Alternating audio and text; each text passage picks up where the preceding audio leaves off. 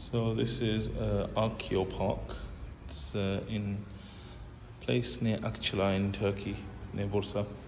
And they've just got loads of archaeological type of things, including bones. Now, I thought these were real, but I've been told they're not. And then you've got all the archeo places, like the real place outside where they've been doing digging to find stuff.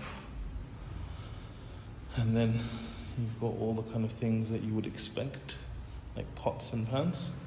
But this is really cool. They've got like little artifacts here, like arrows, bows and arrows.